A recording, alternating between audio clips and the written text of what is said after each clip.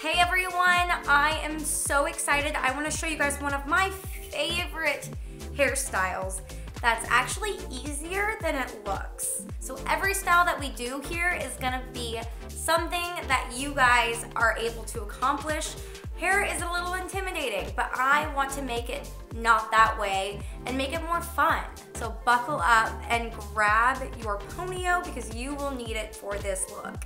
I recommend the ponyo because it makes your hair look so much thicker. And that's one thing that I love because I've got finer hair and it's non-damaging. So it's not gonna damage your beautiful hair. Like why are we damaging our hair? It's almost 2022. There's no need to be ripping and pulling and damaging your beautiful hair. Let's stop that. It's comfortable, so it feels like there is nothing in your hair. These bumps right here give you a secure hold without tugging, pulling, giving headaches it's a lifesaver. It does not stretch, it bends. So it's a bendy piece that you can manipulate into your ponytail. You want these very sharp, deliberate bends because that's going to give you that nice fold. Okay, let's get to styling. So today we are going to work on an inside out braid. Super easy once you get the hang of it. You can do it with your eyes closed. So I'm gonna show y'all how to accomplish that and secure it with your ponyo to give you a really pretty, stylish ponytail that is unique and so flippin' cute. Okay, so I'm gonna, I'm gonna gather all my hair on one side. I typically do a middle part, but for this style, I'm gonna do a nice side part, a deep side. Um, and I like to leave a little bit of hair in the front. I feel like it gives me a face frame and I personally love that. You don't need to do that, but I, that's kind of how I like to style my hair. Um, so I'm gonna take a piece of the hair right back here where, and I'm gonna kind of separate my, my bang that I'm gonna keep out. And I'm going to do three pieces just like that, okay? So separate those.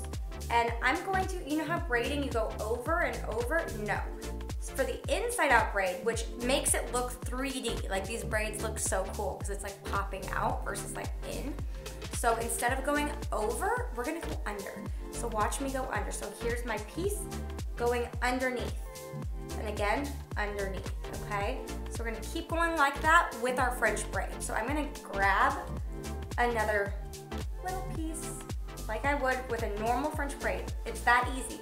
So if you know how to French braid, you can do this for sure. So I'm going to go under, not over, okay? And again, I'm just gonna repeat that all the way down my head. So just keep going underneath. So under, under, under. So keep grabbing as we go down. And I like to keep the top part together because that's gonna make it a smooth top. Okay.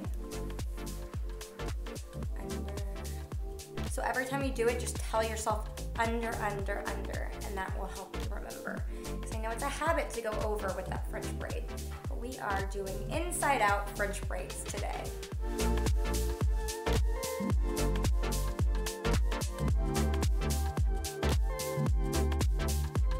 We're almost there, guys. Okay, so we're at the bottom. I'm going to just grab this last piece and then I'm gonna just continue the braid a little bit the ways down, just so that if it does unravel while putting on the ponytail, we'll still have a nice braid at the top. Okay, so here we are. Here's our braid. It's already really cute, right? So I'm gonna go ahead and gather the rest of my hair that is not braided and gather it into a side pony. And now from here, all we're going to do is put the ponyo on.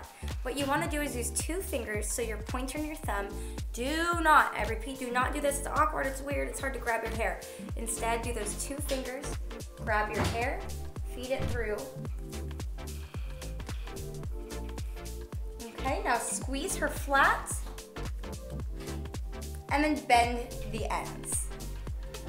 So you have that horseshoe shape like I showed you uh, off my head. I'm already loving where we're going here. And we're not done yet. Okay, now for the fun part. We're going to manipulate our braid and make it huge. Because the more drama, the better in your hair. So it's gonna be big, and bold.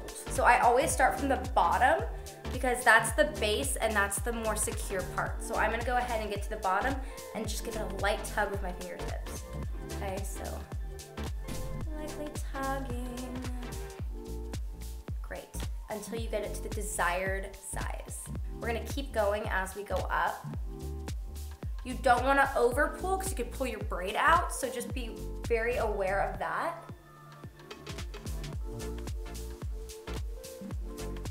Look at how dramatic this already is. And then let's go